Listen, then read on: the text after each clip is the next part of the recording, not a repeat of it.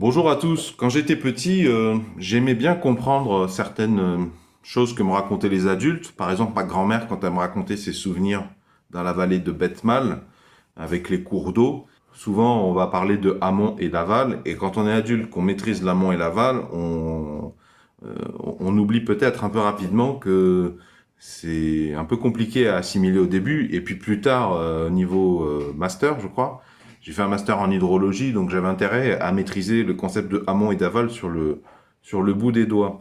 Alors, il y a un moyen mnémotechnique que j'ai eu, je crois, à l'adolescence ou à l'enfance, qui m'a toujours servi et qui fonctionne encore, et qui fonctionne très bien. Amont, aval. Donc, euh, quand tu es, tu te présentes, tu viens sur les bords d'une rivière, d'un fleuve, ou d'un équivalent. Amont, c'est ce qui est avant. C'est la portion de la rivière ou du fleuve qui se trouve au-dessus de toi, entre guillemets. Et l'aval, c'est après toi, c'est-à-dire déjà plus en direction de la mer, pour simplifier, dans le sens, dans le sens de l'écoulement.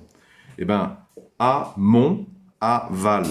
Par ordre alphabétique, tu utilises ordre alphabétique. Le mot amont vient avant le mot aval, puisque c'est AM. A-M-O-N-T, A-V-A-L. AM vient avant AV. Et c'est comme ça que j'ai mémorisé.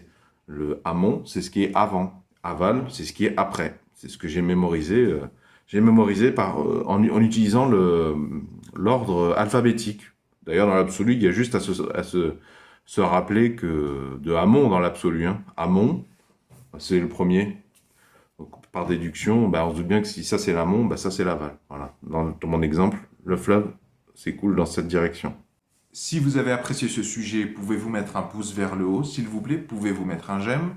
Si vous aimez collecter, rassembler à l'intérieur de vous un maximum de solutions aux mille et un problèmes de la vie quotidienne. Je vous souhaite la bienvenue et je vous propose de vous abonner à la présente chaîne YouTube. Vont s'afficher à l'écran un rond et un rectangle.